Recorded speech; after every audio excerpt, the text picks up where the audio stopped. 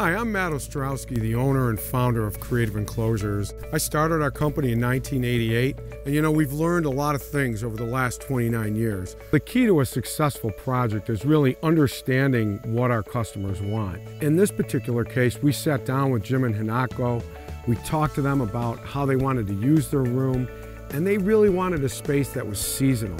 So we created an open space with wide format screens that they can use in a seasonal manner. Working with Creative Enclosures has been a great experience for us. We loved what they presented us with. We almost live for this room now.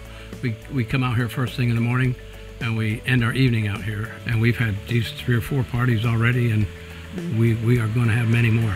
And thank you, Creative Enclosures. Oftentimes, customers want something different.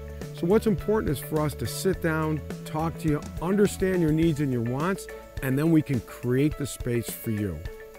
That's what we do at Creative Enclosures.